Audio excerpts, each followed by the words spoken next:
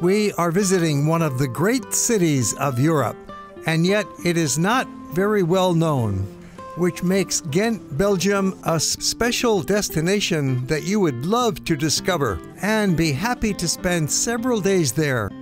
The waterfront along the river at Graslei, with its 500 year old buildings, is one of the great parts of the city, and there are so many other things to discover in Ghent, Belgium, a city that you might not be very familiar with.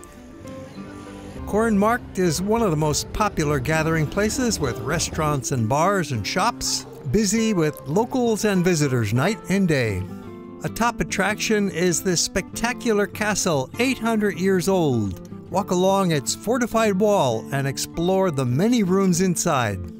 Then bombard your senses with a walk down Graffiti Alley, with pictures changing all the time. This 91 meter high belfry tower was built in the 14th century, and you can go up to the top for a splendid view looking out over the central part of Ghent. Fans of Gothic architecture will love visiting inside the cathedral. No admission charge, but if you want to see one of the greatest paintings in the history of art, you pay a small fee. The masterpiece by Jan van Eyck, in a chapel surrounded by stained glass. The streets of Ghent are perfect for strolling. Take a walk, sit down at a sidewalk restaurant and watch the people go by, have a meal, have a drink. Just enjoy this beautiful setting. Get around with the convenient tram system and see other parts of town. With green parks where you can get away from the city and take a stroll, check out the canals, and visit some of the museums. We'll be taking you to four of the major museums of town later in the program, covering art, history, and technology. And then, how about a boat ride? A 45 minute journey on the water, passing so many of the great old buildings of town, ending back at that beautiful central canal where we are going to spend some time. It's curious that Belgium and the city of Ghent are not very well known to visitors. Compared to the other busy countries of Europe, Belgium gets relatively few tourists, and yet it's a fantastic place to visit. And Ghent is one of the best of all Belgian cities, as you're about to find out. Located in Flanders in the northern part of the country, just 30 minutes from Brussels by train, easy to reach. The historic center of Ghent is compact, just 800 meters wide, with so many things to see. And we'll take you beyond that to show you the rest of town. Let's begin our detailed visit to Ghent at my favorite location the river in the center of town with beautiful promenades along both sides. It's busy all afternoon and right into the evening and makes a good place to start your day. When you're in Ghent, it really pays to get up early, say about 7 o'clock in the morning, take a stroll before breakfast, and enjoy the sunrise, especially near the canals. You'll get the reflection, and it's nice and peaceful and quiet. There's hardly anybody out at 7, 7.30 in the morning, and it makes for a delightful picture opportunity. We're standing on St. Michael's Bridge, one of the great viewpoints of the city, especially here in the early morning with the flock of pigeons flying by and that view looking down at the river with the Graslei embankment. It is quite popular throughout the daytime with local people and visitors gathering to enjoy the scene, have a conversation, maybe a little picnic along the waterfront.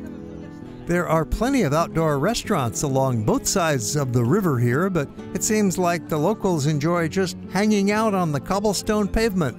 This is certainly one of the major gathering places in the city for young folks. It's a big university town, and those students definitely enjoy spending time here at Graslei.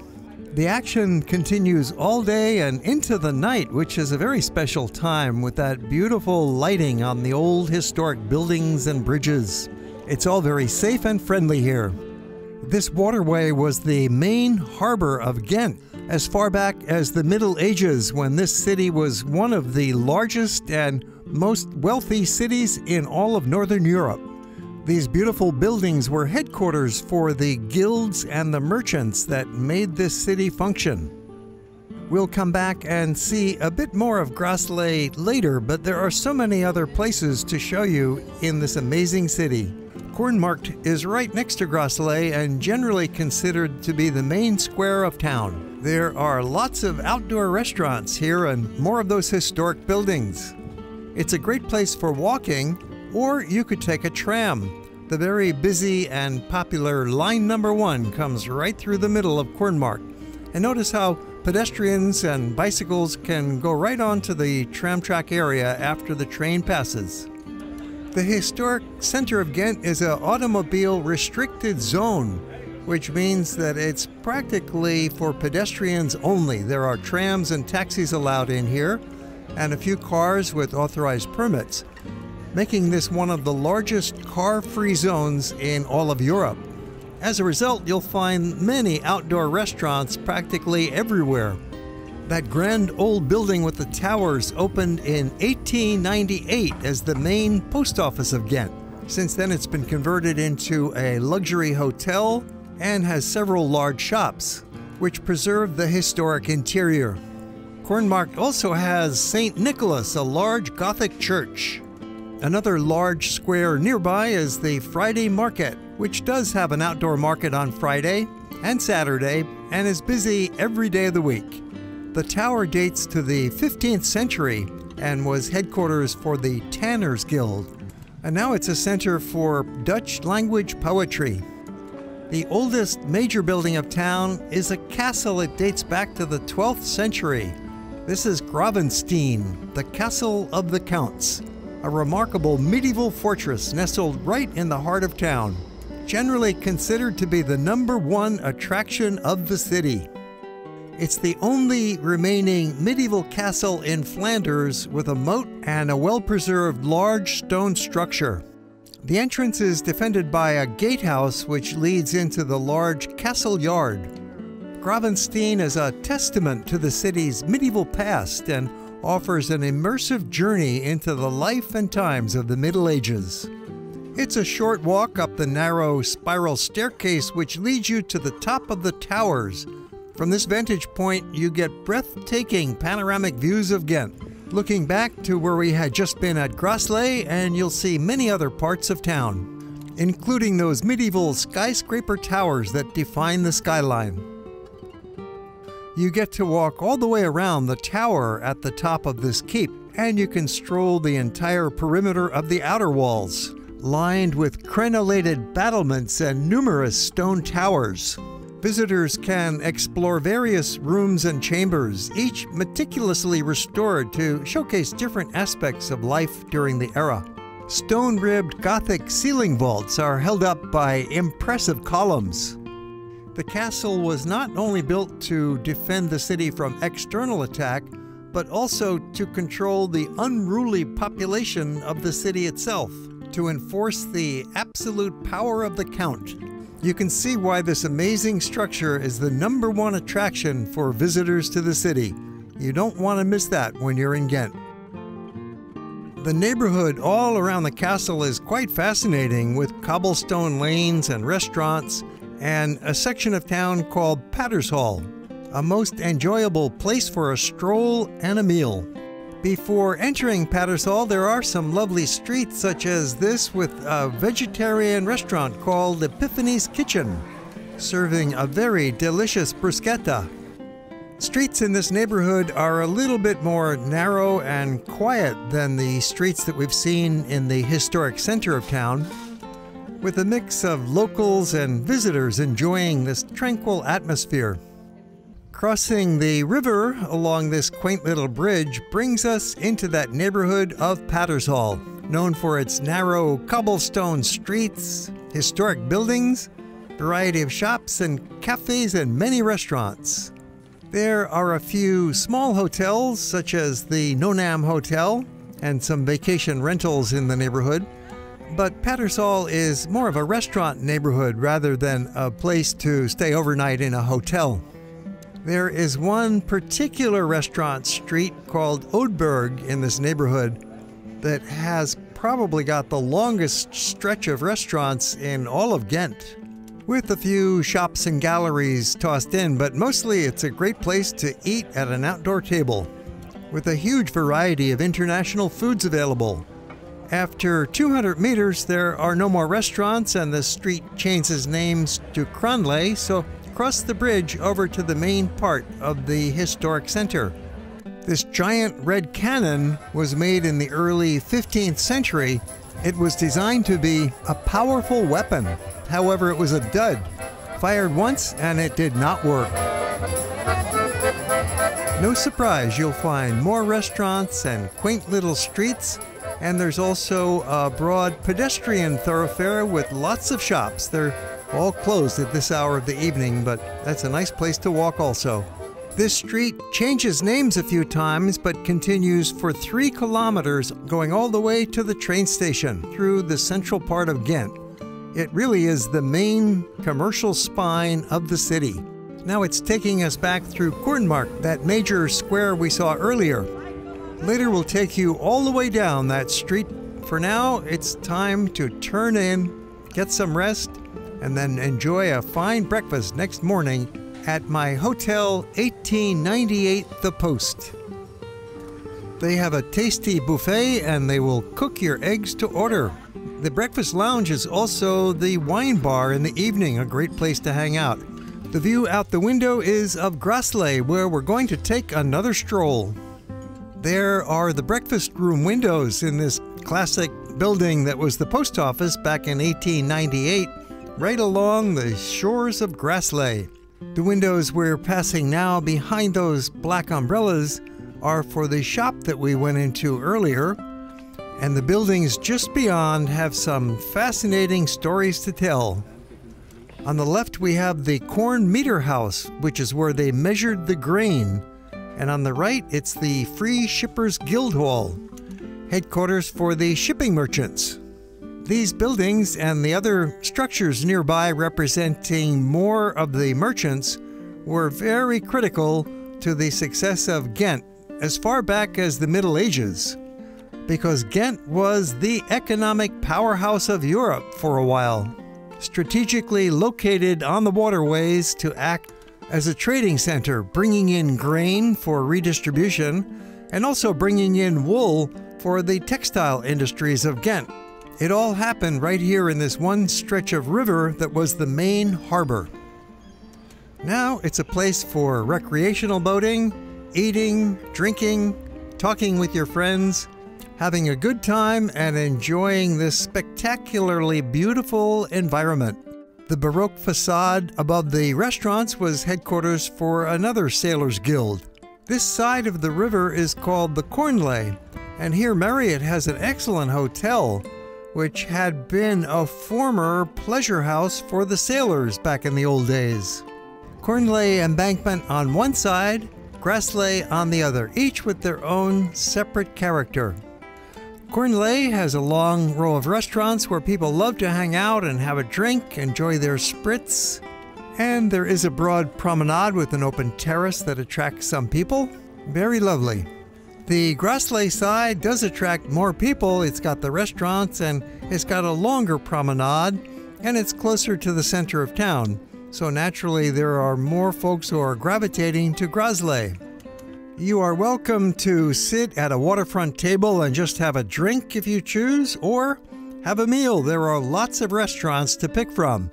Now, granted, it's somewhat of a touristic place to eat, but the setting is so perfect and the food will be fine so go ahead and indulge. If you're looking for a gourmet meal, maybe just have a drink here and go elsewhere. Or why not have a picnic? Do it yourself. A supermarket is around the corner for food and drink, so just bring it over. Or maybe you are just out for a stroll later in the day and want to take a walk and watch people eating and drinking, do some people watching here. It's a great spot for it. There is just something very special about a setting like this, along a waterfront with restaurants and people walking, surrounded by very old, well preserved buildings that have a lot of meaning for the history of the place and just the ambiance, the music, the food, the drinks. It is a superb place to spend some time. There are not a lot of other places in Europe with such a wonderful waterfront setting. Of course, there are some, especially in the Netherlands, cities filled with canals and embankments along the sides of the canal. Of course, Amsterdam has miles of canals with a lot of restaurants out front. Utrecht is a great example of wide promenades along both sides of the canal. But even the European ultimate canal city of Venice does not have a lot of examples of this kind of ambiance with restaurants along both sides of the Grand Canal. Perhaps at the Rialto, where you've got the bridge and beautiful restaurants on both sides, but of course that is extremely touristic 100%. Whereas here in Ghent, it's a mix of locals and visitors all enjoying the place together making this place so special, perhaps unique in all of Europe. You can take a boat ride that will bring you back and forth and into some of the side channels. Pick it up right here at the loading dock on the river. Or why not just row your own boat? You can get a little raft or a kayak. No license or experience required. The river continues south underneath the Arch of St. Michael's Bridge with more walkways along both sides and splendid views of all the waterfront action with boats going by and people paddling. Keep on walking, it's a great place to discover. And you'll find another series of outdoor restaurants along this stretch of the river promenade. And maybe you can stop for another drink or have some more food. It does seem a bit less touristic than that stretch along Graslei. While there, enjoy those views looking out over the river with boats tied up at the docks. There is a lot more to see in this south part of town that we will get to shortly. You can go on foot or take the tram. A little recap of where we've been as shown on the map along the river just south of Graslei. Next, we're visiting two major sites in the center of town the Belfry and Cathedral. Then heading south along that main retail street the Belfry is a major landmark you would enjoy, and you can go to the top for a view. When you start climbing up, it seems like, oh, many steps, I'm going to have to walk all the way, but then, surprise, surprise, there's an elevator that takes you up most of the way. Built in the Gothic style in the early 14th century, the tower is 91 meters tall, 299 feet, so you will certainly enjoy this fabulous view looking out in the center of town. You can walk around it to see in all directions. The tower was a symbol of city pride and was a lookout tower. Of course, it was built primarily to ring bells, which it still does today, as we saw in the room with the carillon drum rotating and ringing the bells. Historical exhibits are in several tower levels, including the original dragon, which has been in the tower since 1377, the guardian of the belfry. This cloth hall has been at the tower base since 1425 as a center for the textile trade. The belfry is one of 33 towers on the list of UNESCO World Heritage Sites in Belgium, a group of medieval bell towers recognized for their cultural significance. Next to it, on the same square, is St. Bavo's, the Cathedral of Ghent. Inside, there is spectacular Gothic architecture and a painting that some visitors consider to be the number one reason to come visit Ghent. We'll show you that in a moment. The interior is a breathtaking display of side chapels, soaring arches, elegant columns, and an abundance of stained glass windows. Upon stepping into the chapel at the back of the church, you will come face to face with what is considered one of the most important and beautiful paintings in the history of art. Painted by Jan van Eyck and his brother Hubert in the 1420s. It's the first major oil painting and marked the artistic transition from medieval to Renaissance art. It depicts the adoration of the mystic Lamb, the Lamb of God that taketh away the sins of the world. There are many different panels representing bishops, church officials, saints and biblical figures and ordinary worshippers and angels, some of them singing, celebrating the glory of God and heavenly redemption. The setting inside this Gothic cathedral adds immensely to the effect of the painting. For another kind of artistic experience, take a walk down Graffiti Alley, a place where anything goes. Everybody is welcome to make their contribution, which is an ever changing display as contemporary as this morning. You will find more conventional street art elsewhere in town. A short walk brings us back to Cornmarkt, which wraps up our visit to the historic center of Ghent and now we're taking a big journey just south of here, starting out by tram and then doing some walking through a fascinating kilometer long strip of shops, side lanes, more restaurants, of course, and we'll take you to a park at the end of the road and some museums. We began this segment in the historic center at Cornmarkt, and now we're going down that main shopping street by tram and walking and we'll explore those little side lanes. This will take us away from that more touristic center of town into the modern city. It's the other side of town that you don't see in a lot of guidebooks. The authentic heart and soul of town where locals are out shopping and eating and drinking. We know Belgians like their beer, but you can also get very good wine in most restaurants and the occasional wine bar.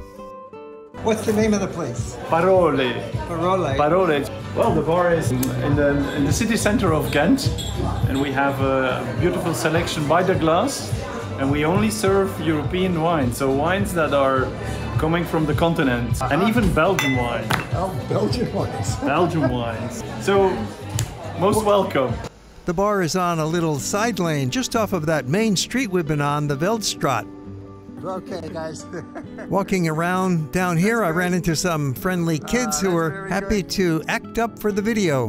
Notice the beautiful design of Veldstraat with those wide cobblestone sidewalks and a single track for the tram and bicycles. It's a neighborhood where the side lanes can be at least as interesting as the main street, so by all means, go venturing off left and right, where you might find a vegan restaurant. And tell me the name of the restaurant. Uh, so we're at Le Botaniste.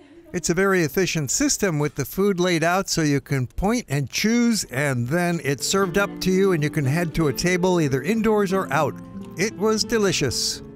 Or how about some Asian food at Knees to Chin, a restaurant group with seven outlets in Belgium, specializing in rice paper rolls. Around the corner on Koophandelsplein, you'll see a couple of beautiful outdoor restaurants casual, affordable, local style food. Apparently, no tourists in sight, located right on a street with a tram running down the middle of it. A block away, we arrive at a famous plaza called Kouter, one of the most fashionable public squares in town during the 18th century and still beautiful. Famous for its flower markets and musical concerts in the bandstand.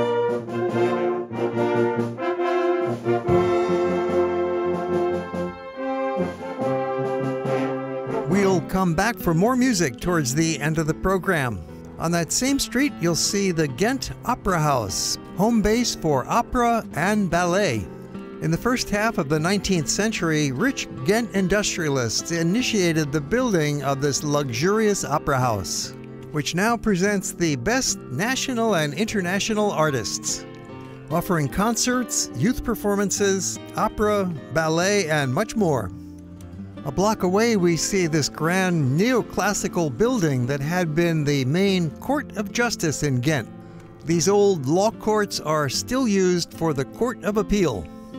It's located on the Ketelvaart Canal, which is another place the kayakers will come paddling down, and there's a lovely waterfront restaurant on the bank.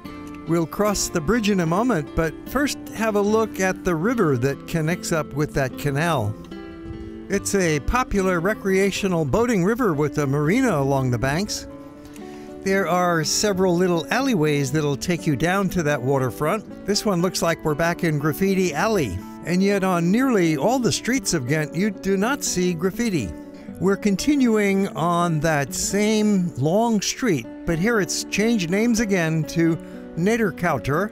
It's still an interesting city street with those shops along it. It's wider, there's two tracks for trams, the sidewalks are more narrow, making this a good time to hop on the tram and jump ahead to our next destination, which is the city's main park and three major museums. It's very useful to purchase the Ghent City Card, which gives you free rides on all of the public transit and free entry to nearly all of the museums in town, and a free boat ride and bicycle rental. We have arrived at Citadel Park, a sprawling 36 hectares of lush greenery, winding pathways, and picturesque ponds. An ideal retreat from the urban buzz. There are fountains, statues, and 780 trees in what had been the grounds of a fortress. On the edge of the park, we reach the Museum of Fine Arts with 40 galleries containing 600 works of art from the Middle Ages to the present day, with paintings, sculpture, graphics, and decorative arts. With a beautiful and relaxing interior design. Old masters hang alongside Impressionists, Surrealists, and Modernists, with the oldest piece dating back to the 14th century. Naturally, the museum is well known as a knowledge center for Belgian art, with extensive collections from the 19th and first half of the 20th century.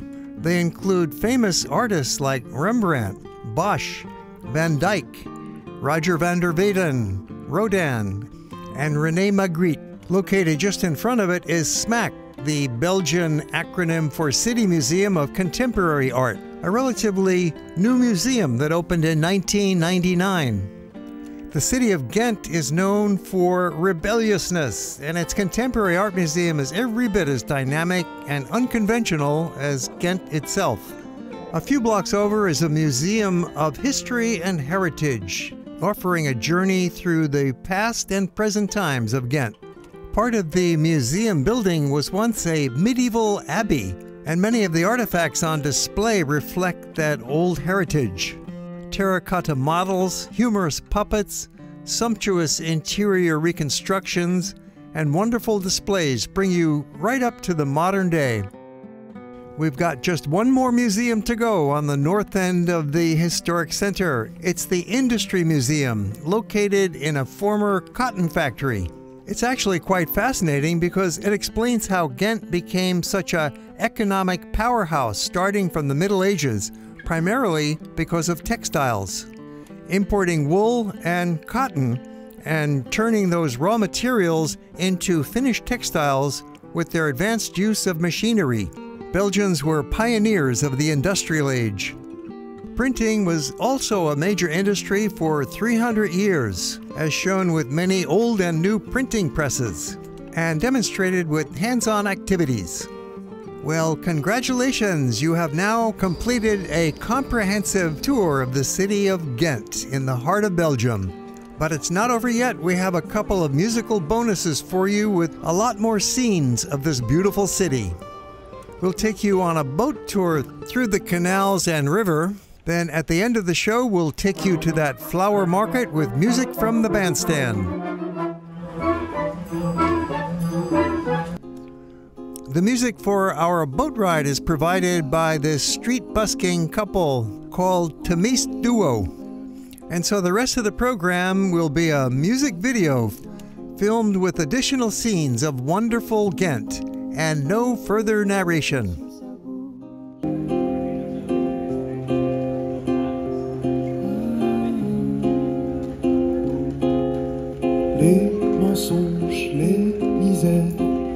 ces choses j'ai pu faire à d'autres que toi.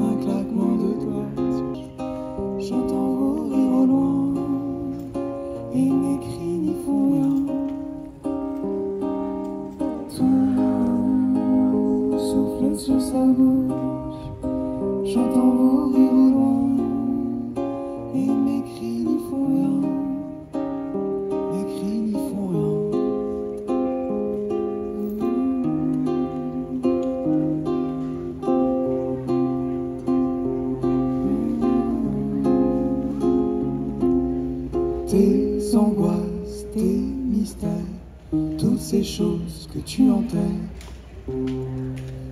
t'éloignent de moi.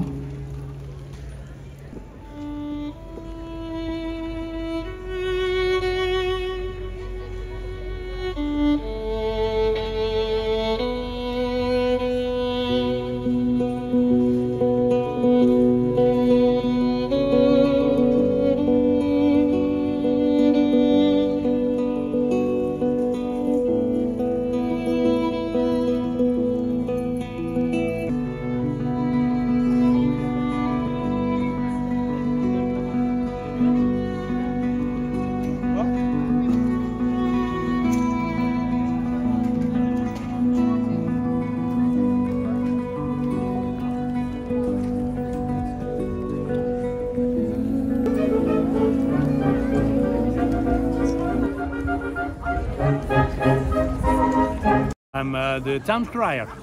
Oh, the town crier. Town crier, yeah, okay. Uh...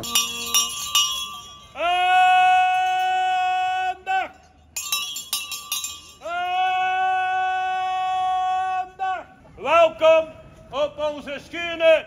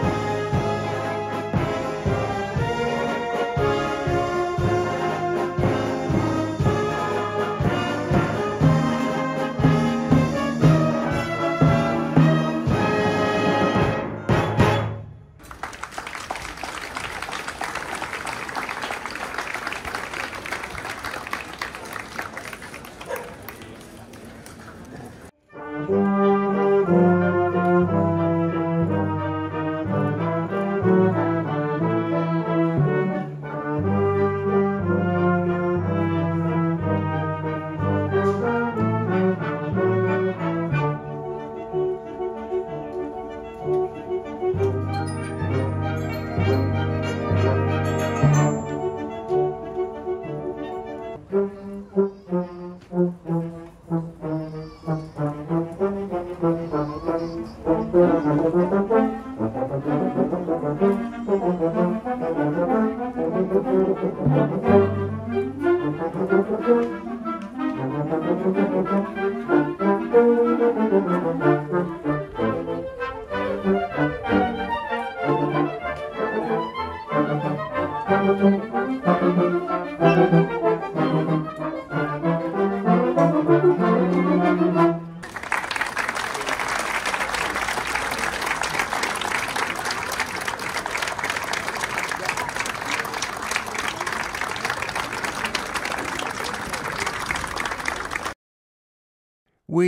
Frequently upload new movies, so please subscribe to our channel and click that little alarm bell so you'll be notified. And if you enjoyed the movie, how about a thumbs up? And we always welcome comments down below. Or if you have questions about the destination, make note and we'll answer them.